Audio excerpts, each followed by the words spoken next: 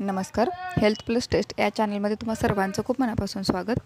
आज या व्हिडिओमध्ये आपण माहिती बघूयात शरीरावरती जर एखाद्या भागावरती बेंड आलं तर ते बेंड जिरण्यासाठी किंवा ते बेंड निघून जाण्यासाठी काय उपाय करायचा याविषयी. तर शरीरावरती बेंड येतं म्हणजे काय होतं? आणि ते बेंड आहे ते ॲक्च्युअल कशामुळे येतं? जनरली प्रत्येकाच्या स्किनवरती स्टेपेलोकोकस ऑरियस या नावाचा बॅक्टेरिया हा असतो.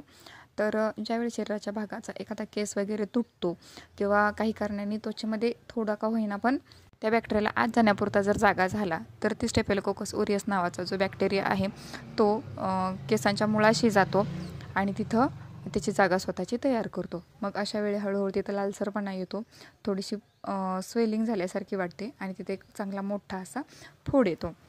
तर ह्या बेंडकड जर व्यवस्थित वेळेत जर लक्ष दिलं तर तो लगेच कवरही होतो. आणि जर लवकर लक्ष नाही दिलं तर त्याचं रूपांतर मोठ्या प्रमाणामध्ये होतं आणि त्याच्यावरती नंतर पस तयार होतो.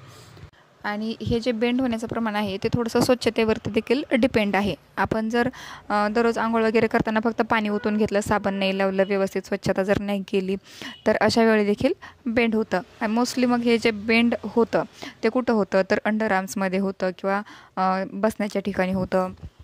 आणि ज्यावेळी इथे बसण्याच्या ठिकाणी जर बेंड झालं तर बसायची खूपच गैरसोय होते.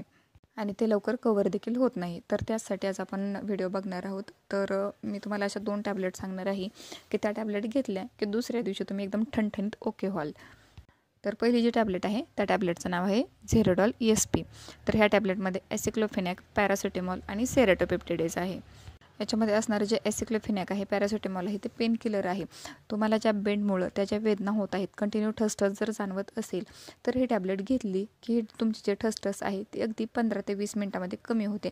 आणि याच्यामध्ये असणारे जे सेराटोपेप्टिडेज आहे यांनी तुमच्या त्या बेंडच्या भागाभोवती जी आलेली सूज आहे बेंड म्हणजे एक सूजच असते तर ती सूज पूर्णपणे कमी करण्याचं काम हे सेराटोपेप्टिडेज करतं.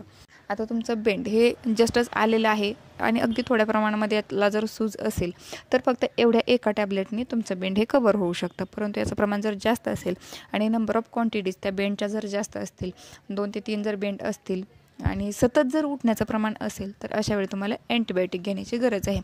तर यासाठी मोस्टली ॲमॉक्स अमॅक्सोसिलिन आणि क्लॅव्हलोनिक ॲसिड असं कॉम्बिनेशन असणारे एक अँटीबायोटिक देतात. तर मी आज तुम्हाला नाव सांगते आहेत त्या अँटीबायोटिकचं ते म्हणजे मॉक्सिफोर्स सी व्ही सहाशे पंचवीस.